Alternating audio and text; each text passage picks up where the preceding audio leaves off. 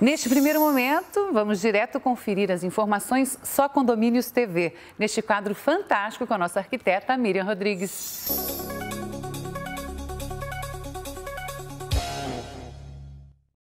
Mar Azul Piscinas. Mais de 25 anos de experiência e agora com uma nova loja ampla e moderna, oferecendo uma vasta linha de equipamentos e acessórios para todos os tipos de piscinas, banheiras e spas. Grupo Adserve, mais de 20 anos no mercado de terceirização, serviços e segurança patrimonial.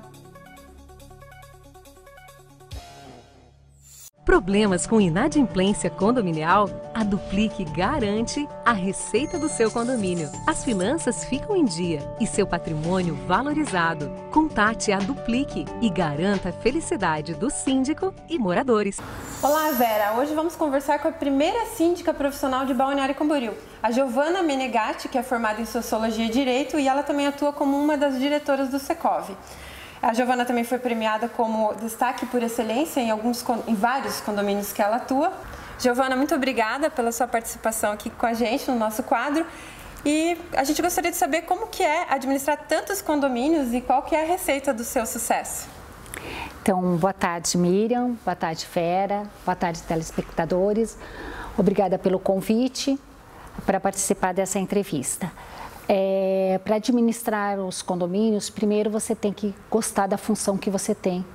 Você tem que é, saber é, conduzir é, esses condomínios, né? Então, com através de conhecimento. A primeira coisa que eu faço quando eu sou eleita, né? E começo a gestão é, e no topo do edifício para ter o conhecimento dele e daí venho vendo todas as necessidades até a última coisa que é a cisterna, né, que geralmente é no subsolo. Então, vejo todas as necessidades do edifício. Depois eu faço um planejamento. Esse planejamento vai falar todas as manutenções que eu tenho que fazer, todas as aquisições dentro da previsão orçamentária que foi feito no início da, do, do ano. Né? Eu conto também sempre com o apoio dos meus conselheiros para que a gente possa ter um, um melhor auxílio né, dentro do, do, condomínio. E temos que fazer as manutenções é, que são as corretivas, mas também temos que lembrar de fazer as preventivas, para que antes de ocorrer o problema, nós já estamos com a solução já encaminhada. Temos que contar também com os nossos funcionários, porque tem que ser bons funcionários e capacitá-los para que eles possam estar exercendo essa função. E, por último, também temos que contar com os prestadores de serviço, que é importante a gente ter prestadores profissionais e com qualidade no seu serviço. Inclusive, essa é uma das grandes vantagens que tem o condomínio estar contratando um síndico profissional, né? Porque ele já vai ter toda essa experiência, essa bagagem do próprio relacionamento com esses fornecedores, saber quem trabalha certinho, né? Porque eles vão estar atendendo uma síndica que tem vários condomínios, então é essa sintonia, né, é bem importante. E Giovana, no começo da sua carreira, Conta pra gente porque você já é síndica profissional antes do boom, né, o imobiliário de Balneário Camboriú. E quais foram os desafios dessa época? Miriam, em 2005 foi quando eu comecei a carreira de síndico profissional. E, e a, o meu maior desafio foi justamente convencer os, os condôminos de que um síndico morador, um síndico que era externo ao condomínio, ele faria o trabalho tão bem quanto um síndico morador. E por eu não estar morando no edifício, então eu coloquei o meu telefone à disposição 24 horas para que eles tivessem mais segurança e também é, eu é, comentei que passaria nos edifícios todos os dias, né, para que eles tivessem essa segurança.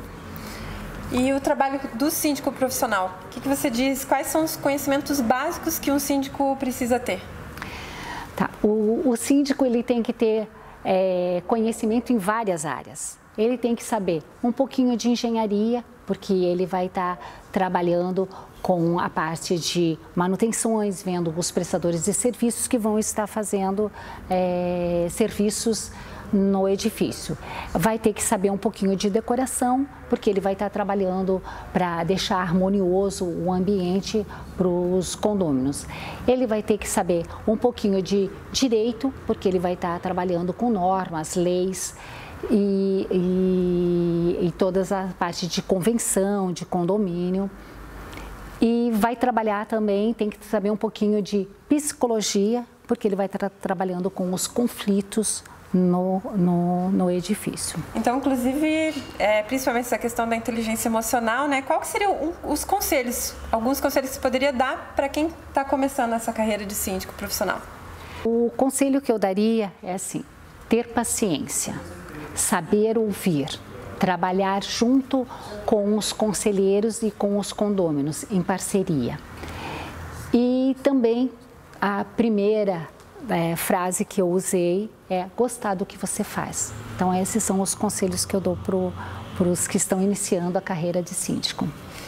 Giovana, a gente gostaria de parabenizar pelo seu trabalho, o diferencial que você está trazendo para os condomínios, né? A área condominial agradece e a gente também agradece a sua participação como colunista da revista Só Que Condomínios, na participação dos eventos e para estar tá trazendo sempre essas novidades e contando a tua experiência aqui, tanto para os síndicos, mas também para os moradores entenderem como é que funciona o trabalho um síndico profissional. Tá, é, Miriam, eu que agradeço, a Vera também, eu agradeço pela, pela oportunidade e sempre quando eu puder contribuir com vocês, eu estarei presente no programa.